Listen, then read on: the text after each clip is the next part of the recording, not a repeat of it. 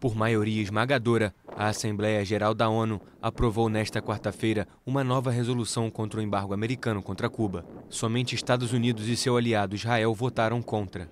A resolução sobre a necessidade de pôr fim ao bloqueio econômico, comercial e financeiro de Washington, a ilha, foi aprovada por 187 votos a favor, dois contra e uma abstenção.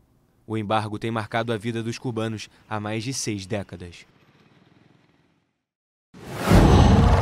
Whoa.